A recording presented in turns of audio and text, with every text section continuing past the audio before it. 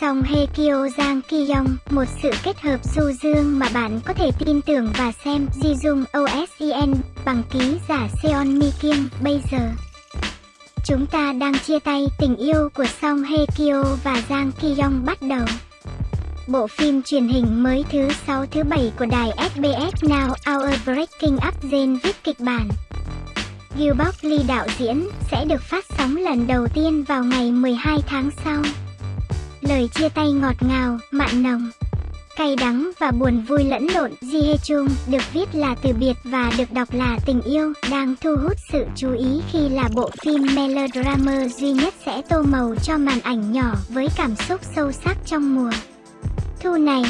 Trung tâm của sự mong đợi của công chúng đối với Ji Hye Jung có hai nhân vật chính, Song Hye Kyo, Ha Yang Eun và Jang Ki Yong, Yoon Jae Guk.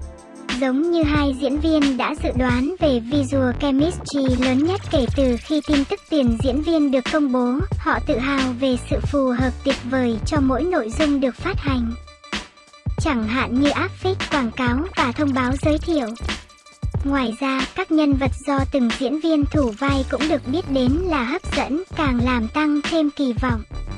Trong khi đó, vào ngày 25, áp phích nhân vật của Song Hye Kyo và Jang Ki Yong trong phim Ji Jung đã được phát hành. Nó ghi lại cảm xúc sâu sắc và sức biểu cảm của hai diễn viên cũng như bầu không khí chiều mến của tình yêu mà cả hai sẽ vẽ nên trong vở kịch. Trong poster nhân vật, Song Hye Kyo đang ngồi một mình bên cửa sổ vào một ngày mưa. Đôi mắt của cô ấy chứa đựng nhiều cảm xúc khác nhau như yêu thương, run rẩy và ngập ngừng. Ngoài ra, tôi bây giờ, bản sao của Am Afraid gợi ý rằng Song Hye Kyo đang rung động trước tình yêu đang đến gần trong vở kịch. Sự hiện diện của Song Hye Kyo, người đã thể hiện rất nhiều cảm xúc chỉ bằng một cái nhìn thật đáng ngưỡng mộ. Vẻ quyến rũ trưởng thành hơn của Giang Ki Yong cũng rất ấn tượng. Trong poster nhân vật, Giang Ki Yong dường như đang trầm tư với một chiếc máy ảnh trên cả hai tay.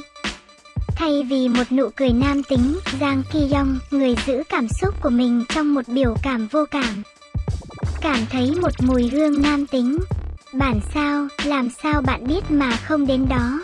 Tăng gấp đôi sức hấp dẫn của nam chính Giang Ki Yong. Song Hye Kyo và Giang Ki Yong trong Ji Jung yêu nhau không thể cưỡng lại. Áp phích nhân vật cho Ji Jung ghi lại cảm xúc của một người đàn ông và một người phụ nữ trước tình yêu có thể dung chuyển cả cuộc đời của họ, nhưng chắc chắn sẽ rơi vào tình yêu.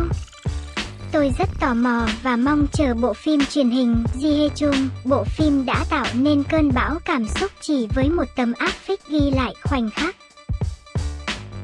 Nào.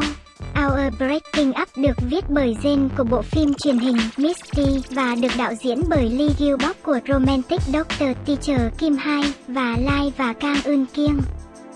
Những người sáng tạo ra Misty và thế giới của những người đã kết hôn đã tham gia. Now, We're Breaking Up sẽ ra mắt vào lúc 10 giờ tối ngày 12 tháng 11 sau Wonder Woman scona.osen.co.kr và còn những bộ phim đáng chú ý khác chúng tôi sẽ cập nhật bài viết lần sau. Rất mong sự ủng hộ của các bạn đến chúng tôi. Chúc các bạn vui vẻ.